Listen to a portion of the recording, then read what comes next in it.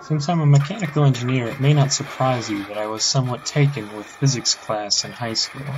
I especially enjoyed the unit we did on trebucheting and catapulting, which is what led to this monster. I built it back in 2006, and we shot it for many years until this happened. Yep, it did just throw the arm along with the bowling ball. So fast forward six years of sitting out in the pasture, and this is what the frame of the trebuchet looks like. I never had any intentions of rebuilding it, but a pumpkin chucking contest started up at the fairgrounds two miles down the road, and along with people at my parents' church, we decided to fix it up. This is a floating arm style trebuchet where this track above holds the fulcrum which rides horizontally. The counterweight rides vertically in this track, which is just big enough to get a pipe through. As the pipe slides down, it pulls the arm assembly across, which do does the throwing action. And here's a look at the track from above. It's just C-channel.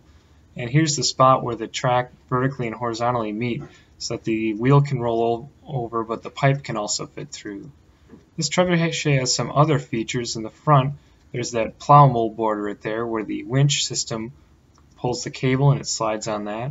This chain is for the release mechanism. It clips in up there and releases, which fires the trebuchet. Last major piece, here's the throwing arm that fits up there. These are the steel rims that roll across in the track.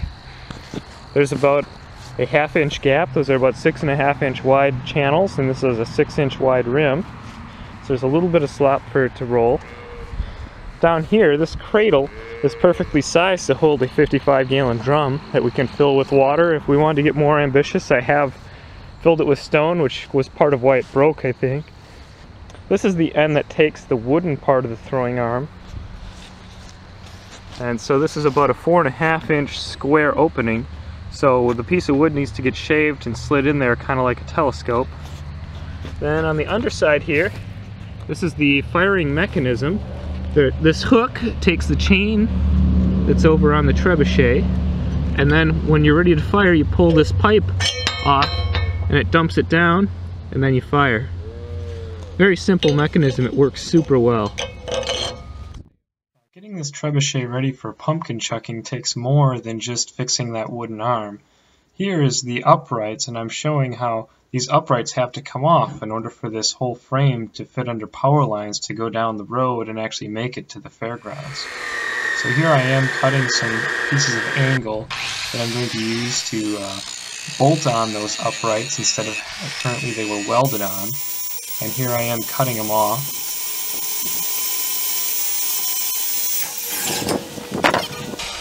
I didn't have a torch, so getting these uprights to bolt back on again became a drilling operation, which turned out to be a ton of work. What I did have done is clamp my piece in place and I drill holes bolting them together. Uh, and after I got the bolts secured, I would come back and I would weld it to the upright.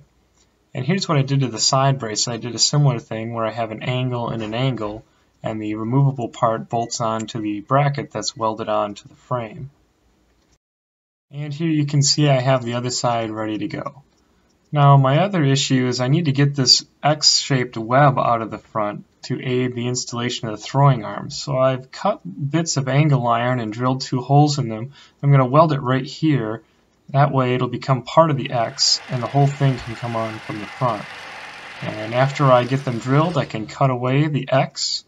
Now I simply bolt them back on and weld them to the X to make an assembly solve the transportation problem, we found this old wagon dolly that's made out of angle iron and it has a uh, axle in the middle. And we put 4x4s across. To go down the road, I've welded a hitch on the front of it with the ball on the end. And this hitch came with that trailer. And now the dolly's going to sit somewhere about right here. And the whole thing is going to become a trailer to wheel down the road. We also shined up this rubbing surface and we'll put graphite on there so that it slides much easier. And we did eventually need to make a th new throwing arm. So I drew up a drawing showing a laminated beam instead of a single trunk, and we were going to coat this with fiberglass to give it additional strength. I started by milling down the boards in my planer. I decided to go with white oak because of its high strength and resistance to rot. After all, rot is sort of what destroyed it, my old beam. I'm also going to help the rot resistance and strength by laminating fiberglass cloth and resin in between each board. Here I'm doing a test with oak that I had laying around where I'm trying the fiberglass lamination.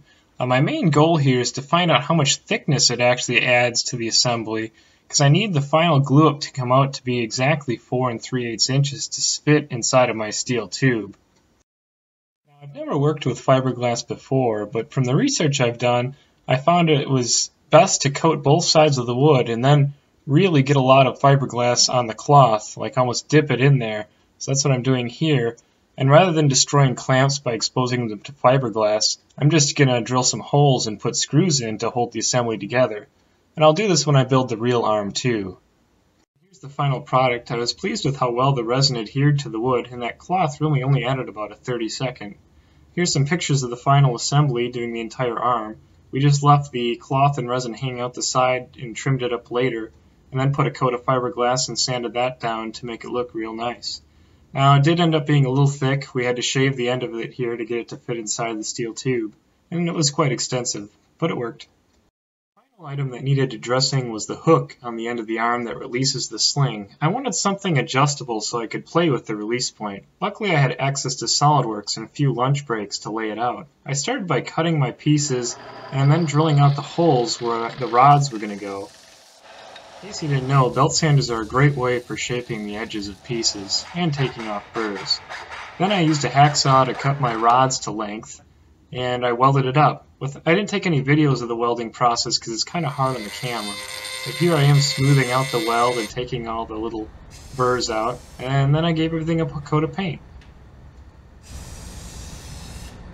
Finally, it came time to test fire the machine, but I had an issue. My 55 gallon drum didn't fit in the cradle. I guess that means they're not all the same size. So I'd resort back to my old one filled with stone that broke the machine. It weighs about a thousand pounds. Hopefully this new arm is up for the stress. Well, the dolly works great, but we're searching for level ground to set it down on. Come in look at it.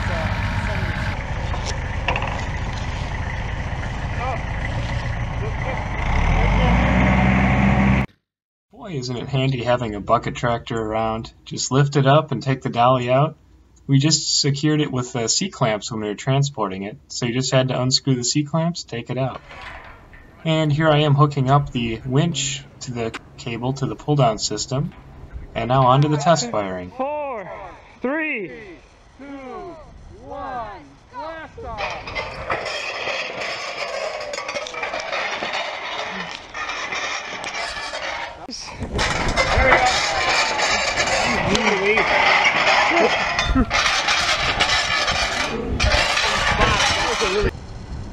Three, two, one.